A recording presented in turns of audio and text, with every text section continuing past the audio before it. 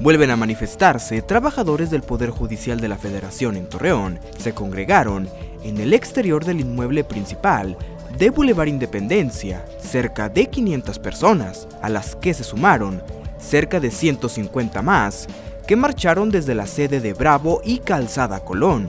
Por segundo día consecutivo, trabajadores del Poder Judicial de la Federación bloquearon el Boulevard Independencia y trastocaron el tráfico vehicular. En todas las sedes del Poder Judicial Federal se suspendieron las actividades desde primera hora. Fueron cerrados los accesos a los edificios ante la inconformidad por la modificación que se hizo a los fideicomisos en la Cámara de Diputados, pese al dispositivo de tránsito y vialidad para desviar la circulación por los ríos Suchiate y Aguanaval.